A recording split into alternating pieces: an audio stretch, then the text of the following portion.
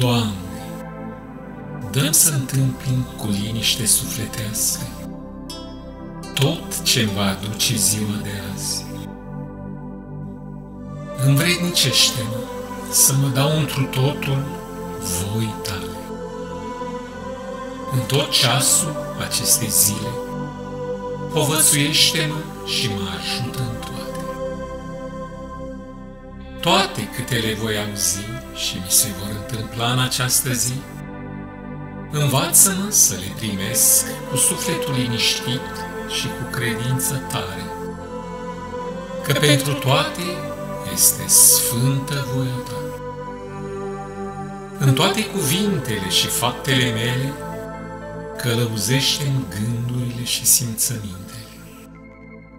În toate întâmplările neprevăzute, fă să nu uit că totul este trimis de către Tine.